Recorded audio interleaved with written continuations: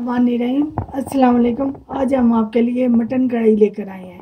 इसके लिए ना ये स्पेशल रेस्टोरेंट स्टाइल से कढ़ाई बनती है और चटपट तैयार हो जाती है और पानी के बगैर बनती है।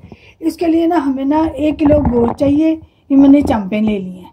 और ये सात आठ आठ हमने ना टमाटर काट लिए हैं। और ये हमने ना पा, पाँच हमने ना प्याज काट लिए हैं। बड़े दो बड़े साइज़ के और तीन छो, छोटे साइज़ के।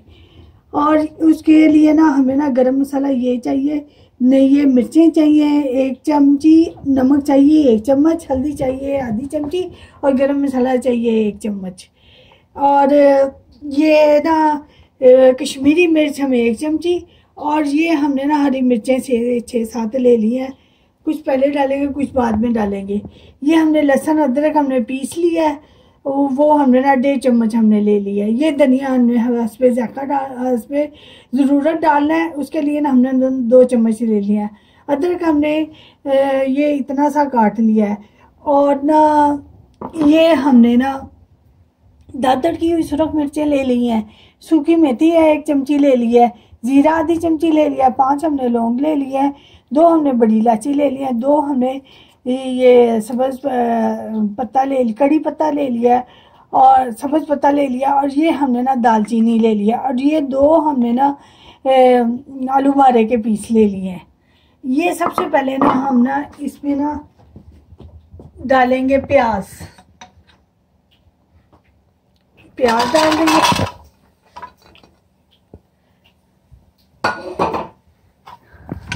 फिर हम ना गोश्त डाल देंगे। ये अब हम ना टमाटर डाल देंगे।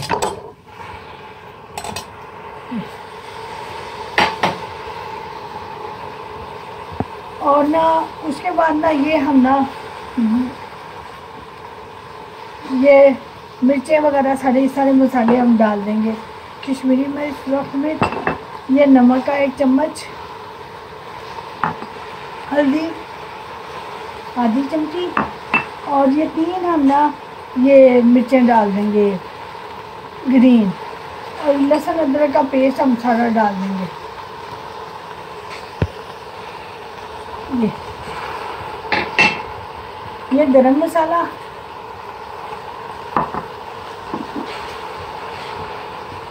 ये हम सारी चीज़ें ना इसमें डाल देंगे।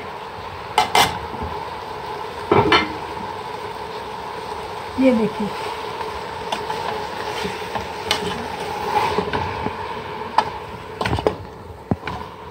ये देखिए, इसमें पानी बिल्कुल नहीं डालना और ये बहुत ही टेस्टी बनती है और चटपटी आदि हो जाती है। ये इसके ऊपर ना हम गोश्त लगा देंगे।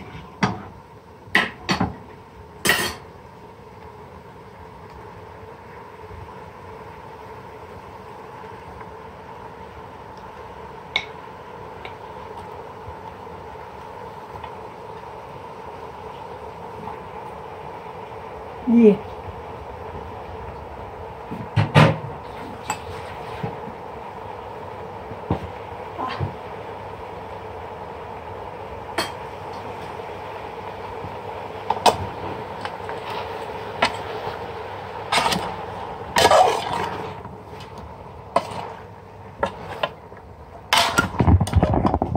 थोड़ा सा हम इसमें ना ऑयल डाल देंगे। तीन चम्मच ही डालने हैं ज़्यादा नहीं डालना। भूनते वक्त डालेंगे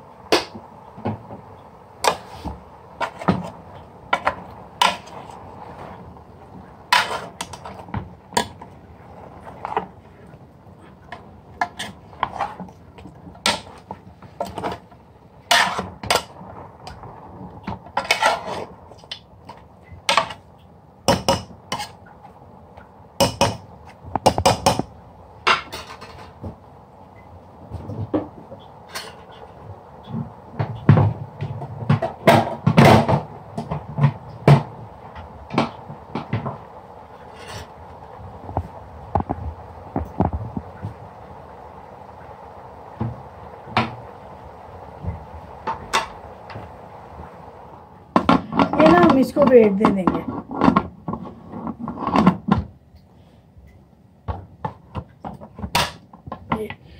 इसको ना अब गोश्त जिस हिसाब से समटाइम सख्त आ जाता है समटाइम नरम जल्दी गल जाता है।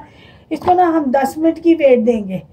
आपने अपने हिसाब से दे, देनी है। नमक मिर्च अपने हिसाब से डालना है। और अब हम ये 10 मिनट की वेट के बाद फिर इसको फ्राई में भूनेंगे। ये अब हम ना वेट खोलेंगे।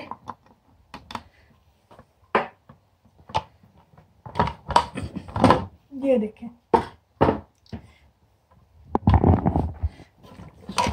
ये देखें।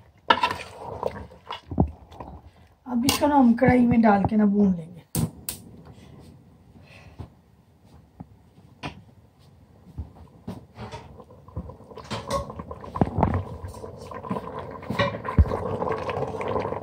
अब इसको ना हम इसमें डाल देंगे।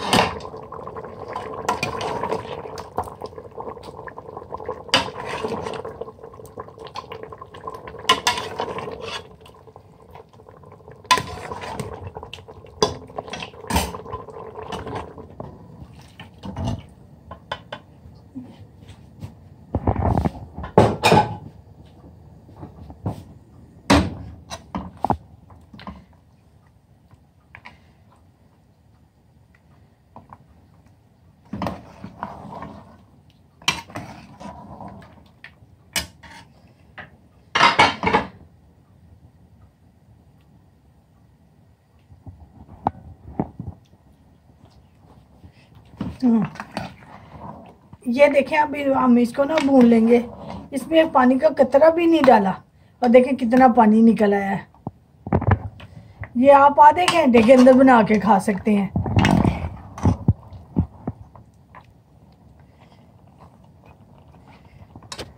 हम्म। ये टमाटरों के छिलके ना हम ना अलग कर लेंगे। जो जो नज़र आता जाएगा ना वो निकालते जाएँगे।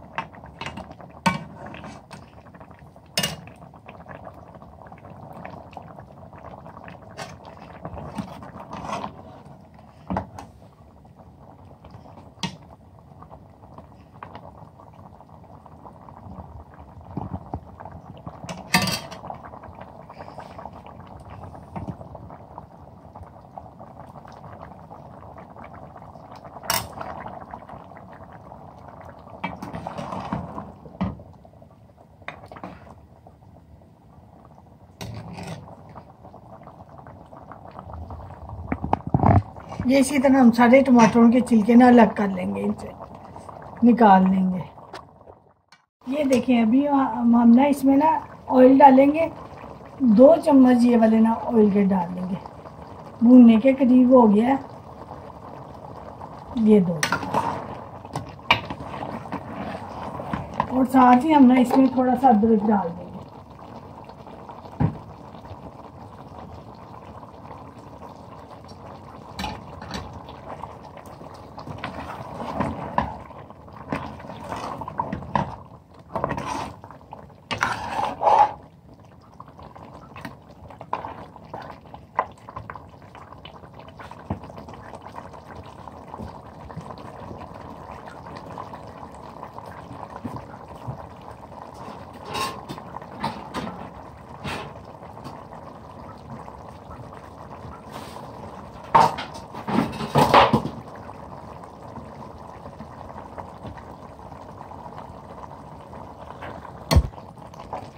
ये दो चम्मच हम ना जोगट के डाल देंगे।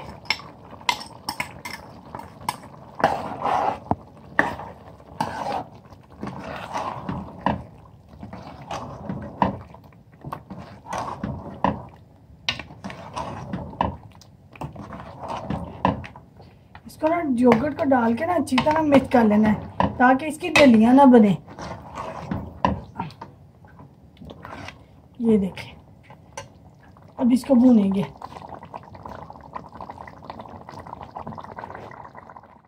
ये देखें, कितना अच्छा तैयार हुआ है और देख के दिल कर रहा है खा ले।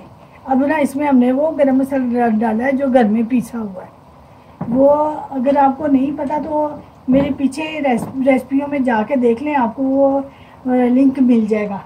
वो बहुत ही अच्छा और हंडिया को बहुत ही मज़ेदार बना देता है। और ना ये साथ हम ये डालेंगे। ये। ये तैयार है हमारी। हरी मिर्चें, दो तीन हरी मिर्चें, एक हरे प्याज हरे प्याज की गड्डी और, जी। ये जिंजर अदरक भी साथ डाल दे। साथ धनिया। बस इसको ना सिर्फ़ ऐसे करके दम ही लगाना है और आपका तैयार हो जाएगा। बस, ये तैयार हो गया। चूल्हा बंद कर दे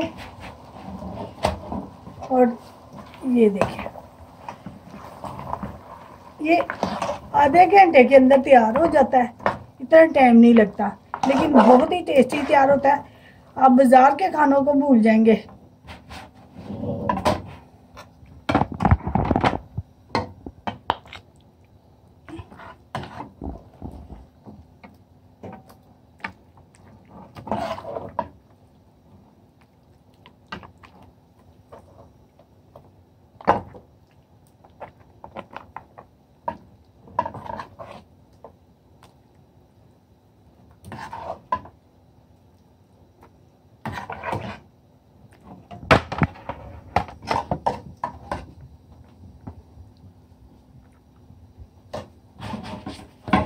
ये देखें, कितना अच्छा और मज़ेदार तैयार हुआ है। इसको घर में बनाएँ टेस्ट करें और फिर आप दो में याद रखें।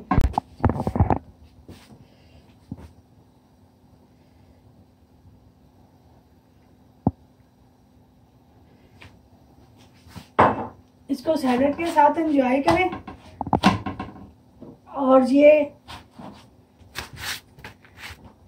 रोटी के साथ खाएँ, नान के साथ खाएँ, आपको बहुत ही मज़ा आएगा। साथ चटनी ज़रूर रखें। और हमारी रेसिपी पसंद आई है लाइक करें शेयर करें सब्सक्राइब करें बेल का बटन दबाएँ। अब हम मिलेंगे अगली रेसिपी के साथ।